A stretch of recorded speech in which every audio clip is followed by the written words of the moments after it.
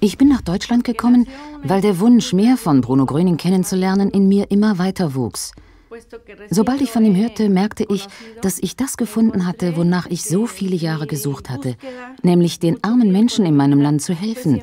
Denn in meinem Land gibt es viele Menschen in Not.